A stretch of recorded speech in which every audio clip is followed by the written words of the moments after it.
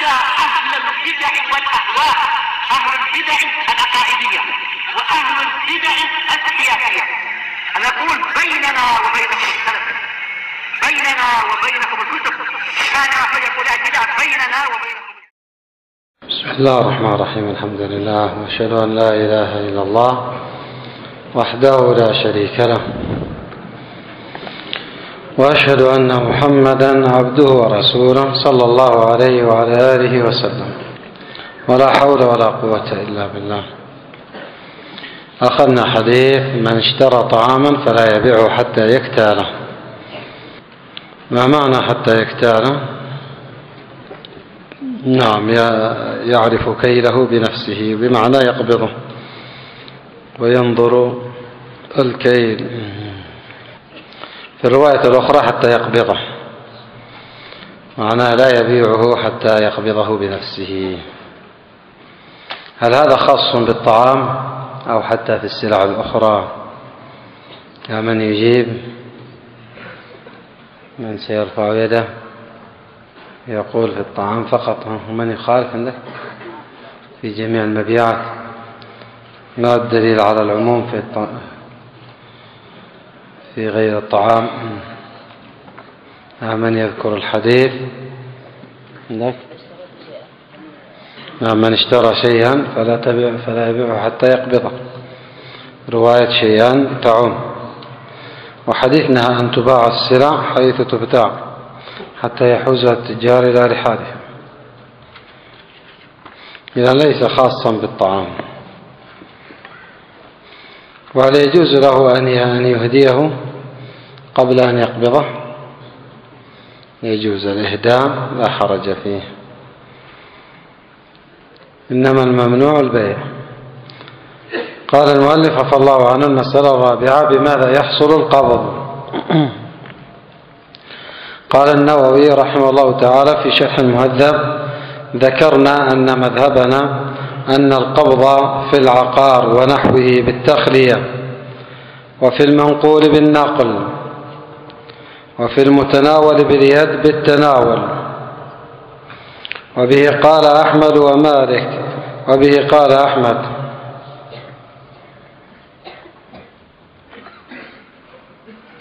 وقال مالك وأبو حنيفة القبض في جميع الأشياء بالتخلية قياسا على العقار.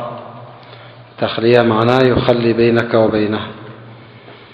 تحب أن تأخذه وأخذته تحب أن تتركه وتركته معناه إذا خلى بينك وبين أخذه فقد قبضته. بمجرد أن يسمح لك بأخذه خلى بينك وبين أخذه. وما ذكره أحمد والشافعي أقرب. في العقار ونحوه بالتخلية وفي المنقول بالنقل وفي المتناول باليد بالتناول باليد. قال النووي ودليلنا حديث زيد بن ثابت أن رسول الله صلى الله عليه وسلم نهى أن تباع السلع حيث تبتاع حتى يحوزها التجار إلى رحالهم. أي ينقلها من المكان الأول. ولأن القبض ورد به الشرع مطلقا فحصل على العرف والعرف فيما ينقل بالنقل وفيما لا ينقل بالتخلية قال فإن قيل فحوزه إلى الرحال ليس بشرط بالإجماع. يعني ليس بشرط أن يحوله إلى رحله إلى منزله. يكفي أن يفارق المكان. فلماذا؟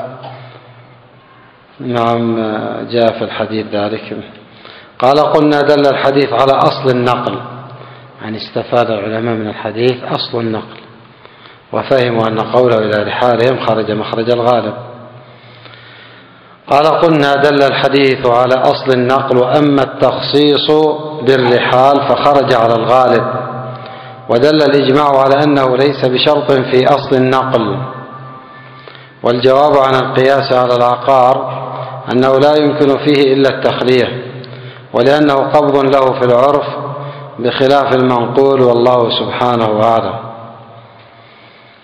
وصارت في أعرافنا المتأخرين أن العقارات نعم ما يتم القبض فيها إلا بعقد بيع مع مع أيضا تسليم الأوراق الخاصة بذلك وما أشبه ذلك. ثم يخلي بينه وبينه. ليس مجرد كلام فقط. واحتج البيهقي للمذهب بحديث ابن عمر رضي الله عنهما قال كنا في زمان رسول الله صلى الله عليه وسلم نبتاع الطعام.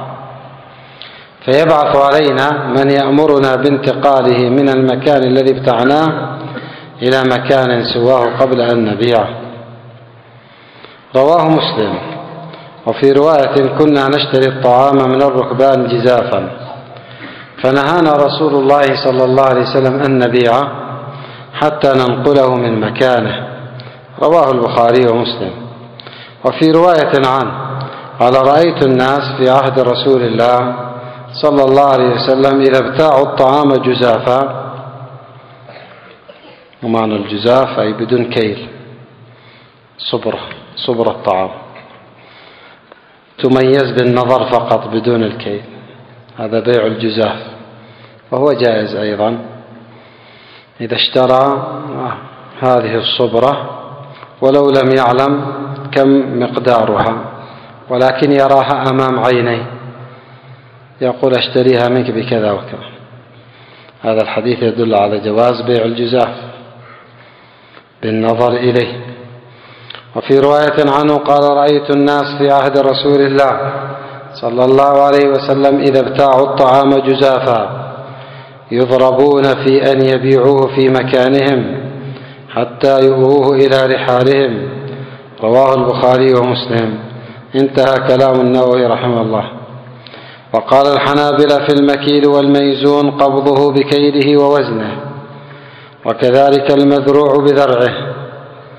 ومذهب الشافعي أنه لا بد فيه من الوزن أو الكيل أو الذرع ثم تحويله كما ذكر ذلك النووي في المجموع.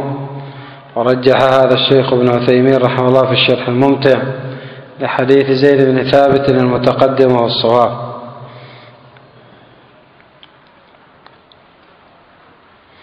يعني اكتفى الحنابلة أنه إذا كاله أو وزنه صار قبضا.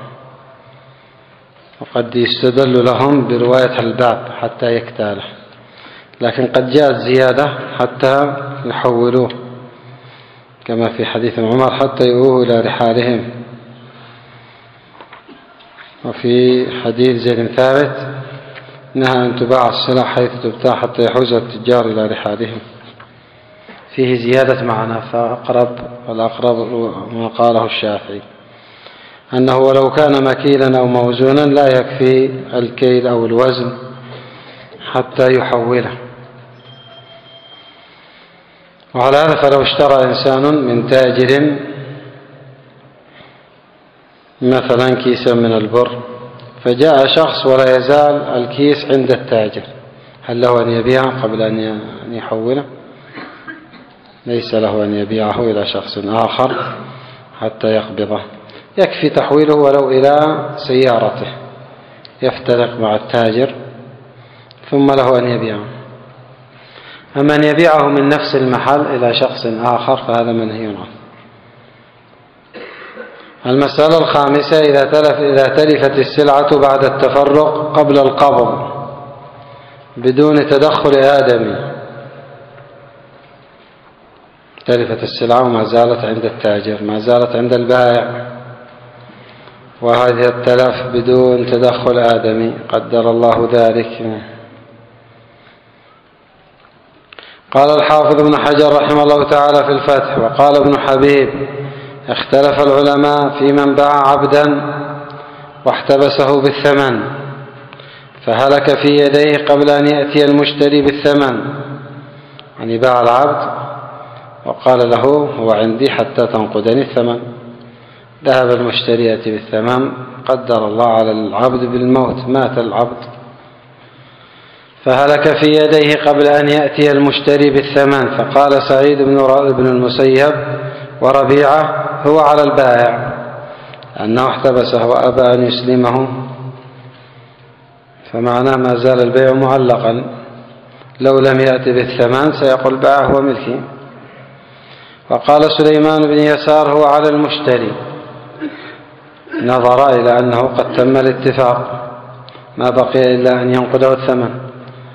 ورجع إليه مالك بعد أن كان أخذ بالأول. وتابعه أحمد وإسحاق وأبو ثور. كل هؤلاء نظروا إلى أنه قد قد اتفقوا على البيع. إنما حجزه بالثمن. وقال بالأول الحنفية والشافعية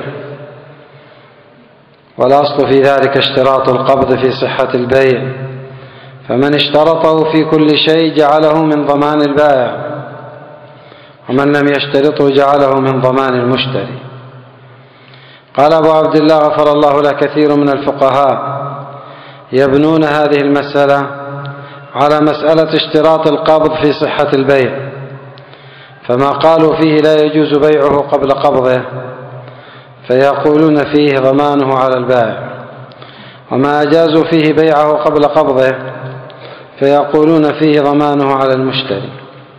والذي يظهر لي والله أعلم أن هذه المسألة تنبني على استقرار الملك وإن لم يقبضه.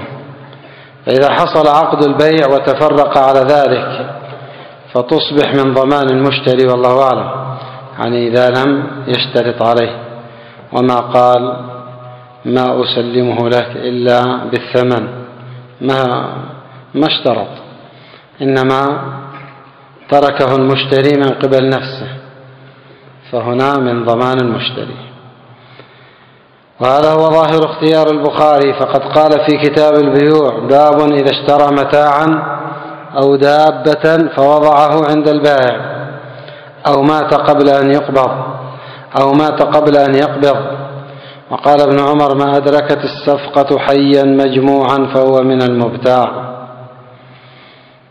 يعني وقع التبايع على شيء حي حاضر موجود فهو من المبتاع أي يتحمله المشتري وهذا الأثر وصله الطحاوي والدار قطني بإسناد صحيح كما في المفتاح كما في الفتح.